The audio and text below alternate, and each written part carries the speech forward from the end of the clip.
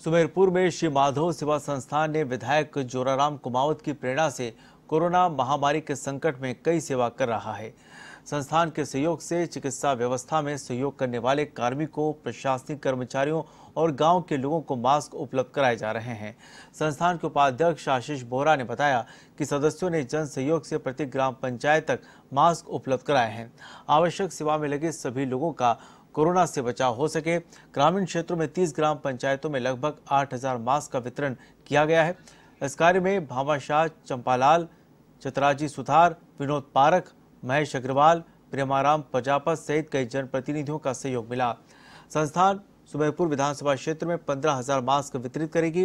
इस अवसर पर समाजसेवी गोविंद सिंह राठौड़, सुमेर सिंह राणावत ग्राम विकास अधिकारी भगवत सिंह, वार्ड पंच सहित माधव सेवा संस्थान के पदाधिकारी दिनेश कुमावत, नरेश मालवीय, रविकांत रावल, विनोद पारक चंदन सहित कई लोग मौजूद रहे।